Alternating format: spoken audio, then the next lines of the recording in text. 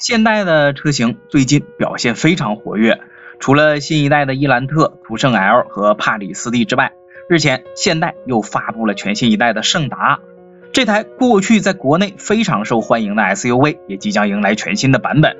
新一代的胜达很有可能会在明年正式在国内开售。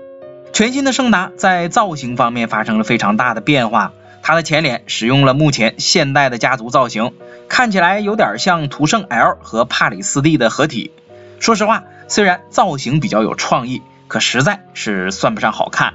车身的侧面和尾部的造型倒是非常的顺眼，尤其是尾灯的样式，简约又富有辨识度，需要点赞。全新胜达的内饰走的是圆润的风格。大量的弧形的线条，层次丰富，中控台造型比较对称，但颜值不如新一代伊兰特那么高。新车车内的配置倒是相当的不错，动力是全新一代胜达的一大亮点。老款胜达的动力将全部被取消，取而代之的是2.5自吸和 2.5T 的发动机，功率分别为193和281马力，扭矩247和422牛米，变速箱则是 8AT 和 8DCT。另外还会有 1.6T 的混动版，功率228马力，扭矩264牛米，匹配 6AT，并且带有四驱。